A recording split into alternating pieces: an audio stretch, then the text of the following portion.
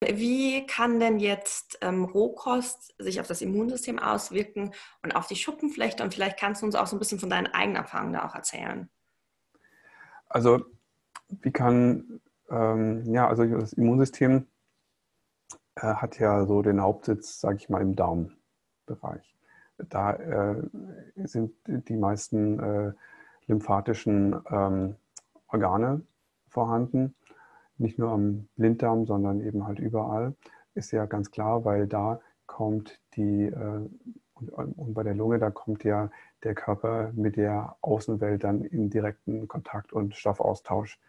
Ähm, wir essen etwas, kommt in den Darm und der Darm guckt, aha, okay, also ähm, das sind ja jetzt hier alles Fremdstoffe, was darf davon rein und was äh, sollte besser draußen bleiben. Im optimalen Fall äh, soll, sollte er das ganz gut hinbekommen, aber das ist ja dank unserer Ernährungsgewohnheit der letzten äh, paar tausend Jahre, ähm, ja, also ein bisschen äh, hat sich das ja verändert, was wir da zu uns nehmen. Deswegen kann der Körper sich da noch nicht so ganz drauf einstellen und weiß noch nicht, dass der Big Mac eben halt nicht so gut für uns ist. Und äh, äh da kommen halt ein paar Sachen dann rein, die nicht rein sollten. So, das heißt, wenn wir Rohkost essen, ähm, äh, stärken wir das Immunsystem auf der einen Seite aber, und da muss ich ähm, dann nochmal sehr lobend die Ausbildung bei der äh, Heilpraktikerin und Ernährungsberaterin Petra Birr ähm, vorbringen. Sie hat nämlich gesagt, es gibt in der, ähm, wenn man als Kind, als Kleinkind, als Säugling dann relativ schnell ja zur Kochkost übergeht oder wird einem ja ähm, sozusagen in den Mund gelegt, im wahrsten Sinne des Wortes, ähm, da rebelliert das Immunsystem erstmal dagegen und ist völlig intolerant erstmal gegen das gekochte, Verzeihung, gegen das gekochte Essen. Ähm, und aber irgendwann und reagiert dann halt mit ähm, allen möglichen Symptomen, die man dann als Kleinkind dann hat, äh, Durchfall und Hautprobleme und äh, was auch immer. Ähm, dann ähm, sagt das Immunsystem dann aber, aber dann an irgendeiner Stelle, ist mir egal, äh, lass mich in Ruhe, ich äh, arbeite jetzt sozusagen verdeckt weiter und äh, entwickelt dann eine Toleranz gegenüber diesen Sachen, wo es eigentlich äh, vorschützen sollte. Ähm, also diese gekochten äh, Geschichten. Und ähm, wenn wir jetzt wieder anfangen, die Rohkost ähm, zu uns zu nehmen, und zwar ausschließlich, also mit 100% Rohkost, dann äh, kommt das äh, Immunsystem an der Stelle wieder zurück und sagt, ich äh, gehe jetzt aus meiner Toleranz wieder in die Intoleranz rein. Und dann kann es natürlich auch in dieser Umstellungsphase zu Reaktionen kommen, die wir so gar nicht kennen. Oder auch wenn wir dann wieder zurückgehen zur, zur gekochten Kost nach einer Weile, äh, merken wir dann natürlich auch einige heftige ähm, Reaktionen teilweise gerade wenn wir so, also bei mir war das mal so, wenn ich mal dann nach ein paar Jahren Rohkost dann wieder mal eine Pizza gegessen habe oder so, äh, dann war ich dann komplett platt. Das glaube ich. Ja. Also das Immunsystem wird einfach gestärkt dadurch, aber ähm, es muss dann irgendwie auch wieder ein bisschen neu lernen, mit den Dingen umzugehen.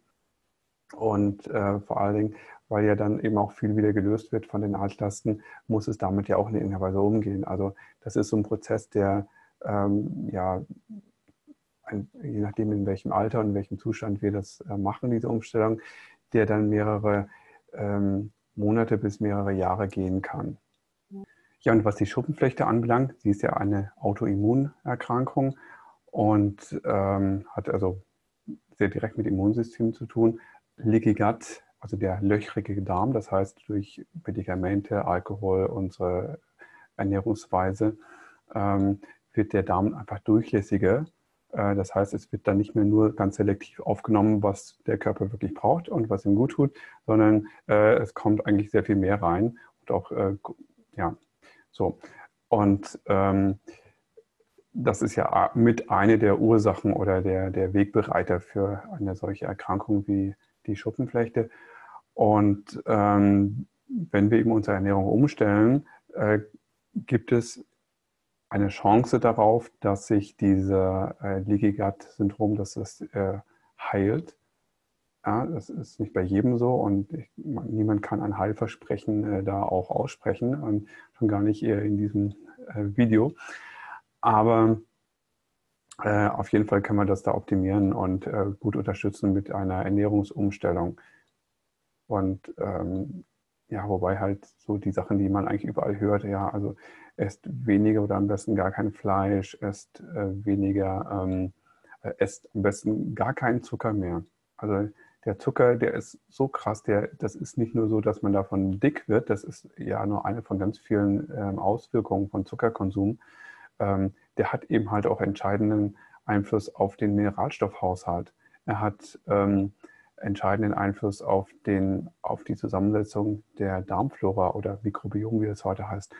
Ähm, und, äh, und, und, und, schwächt uns wirklich, wo, er, wo es nur möglich ist. Und äh, lasst bitte die Trockenfrüchte weg. Das ist ähm, also dann die Zähne, ja, also ähm, die Zahngesundheit leidet extrem unter Zuckerkonsum. Das äh, weiß ja eigentlich mittlerweile jedes Kind. Aber da durch das Zucker nun mal, egal in welcher Form und wenn das Rohkostzucker ist, ja, das ist völlig egal. Das interessiert den Körper überhaupt nicht, ob der Zucker erhitzt wurde oder nicht. Der, der ändert sich dadurch nicht. Ja. Ähm, also das äh, Karamellbonbon ist äh, ähnlich schlimm wie eine, äh, eine Dattel, die wir essen. Ja, und ähm, wir haben ja auch ein eigenes Video zum Thema Zucker und da haben wir auch also festgestellt, wenn halt die Ernährung nicht natürlich ist, ähm, also im Supermarkt wird man auch nicht gerade geholfen, wenn es ums Thema Zucker geht. Also da ist ja wirklich in ja. fast jedem Fertigprodukt ist ja. Zucker ist ja wie ähm, ist äh, ähnlich süchtig machend wie Heroin oder gleich oder so. Ähm, das heißt, es ist super schwierig davon wegzukommen. Also ich empfehle meinen ähm, Zuhörern immer ähm, um von dem Zucker wegzukommen, weil das, ich habe dieselbe Erfahrung gemacht. Also ich bin absolut zuckersüchtig und wenn ich wieder in, ähm, also wenn ich Rohkost mache, dann bin ich jetzt schon mittlerweile äh, da weg vom Zucker. Aber wenn ich äh, mich wieder äh, mit gekochter Ernährung ähm, ernähre, schlechter Satz, äh, dann äh, ich, ich liebe Süßigkeiten. Und wenn es dann soweit ist, dann bin ich ganz schnell beim Bäcker beim Eisdealer und äh, in der Schokoladenfabrik. Ja. Also das, ähm, das ist ganz, ganz schlimm. Das geht so schnell, geht es wieder zurück. Ähm, so, aber wie kann ich, komme ich davon weg? Ja, also Zucker verzichten, bei mir funktioniert das überhaupt nicht. Ich kann nicht sagen, ich verzichte jetzt einfach auf Zucker. Kann ich sagen. Äh, das hält dann meistens bis zum Abend an und dann, ähm, naja, komm, einer geht noch. Aber wenn ich viel Grünzeugs esse, besonders Wildkräuter, ja, viele von euch da draußen kennen vielleicht äh, nicht viele Wildkräuter, aber ihr kennt Löwenzahn und Brennnessel zum Beispiel. Das kennt jeder. Und Brennnessel ist super leicht zu identifizieren. Haltet einfach die Hand dran. Wenn es brennt, ist es die richtige. Da gibt es nichts zu verwechseln. So, ähm, wenn es nicht brennt, ist es vielleicht die Taubnessel oder irgendwas anderes, aber äh, probiert es aus. So, Löwenzahn ist eigentlich auch relativ klar. Falls ihr euch aber so, und das, das kann man ja jeden Tag schon mal äh, dann essen. Ja, wenn man sich nicht gut auskennt mit Wildkräutern, kann man zumindest mit den Sachen, die man kennt, schon mal anfangen. Oder Blätter von Lindenbäumen. Ja, sogar die kleinen Knospen, Blätterknospen, die schon im, äh, um die Wintersonnenwende herum äh, schon äh, auftreten bei den Bäumen, die man essen kann, also bei den Blau Baumblättern, die kann man essen.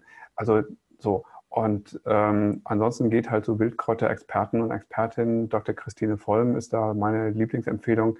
Die ist da im Stuttgarter Raum, Schwarzwaldraum. Ähm, und äh, lasst euch da irgendwie was beibringen, weil es ist kostenlos. Es sind wirklich die heimischen Superfoods per se. Die müsst ihr nicht teuer mit dem Flugzeug hierher herkarren lassen und die haben auch keinen, also die sind halt auch nicht, ähm, also diese haben halt keinen Zucker. Ja, die machen nicht süchtig, ähm, aber sie liefern enorm viel Eiweiß, enorm viel äh, Mineralien und natürlich auch etliche Vitamine und, und sekundäre Pflanzenstoffe und so weiter. Also esst viel Grün, richtig viel Grün, jeden Tag, ohne Kompromisse. Und das hat mir immer dabei geholfen, komplett auf Zucker zu verzichten.